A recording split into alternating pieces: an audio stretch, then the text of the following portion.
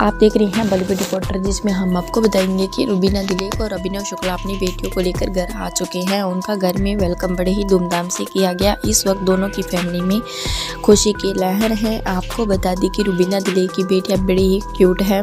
Fans उनकी बेटियों को देखने के लिए बेसब्र हैं। आपको बता दें कि रुबीना दिलेक ने अपनी बेटियों की फ़ोटो फैंस के साथ शेयर की है और आपको बता दी कि रुबीना दिलेक ने अपनी बेटियों के लिए प्यारे प्यारे नाम भी रखे हैं, जो फैंस को खूब पसंद आ रहे हैं।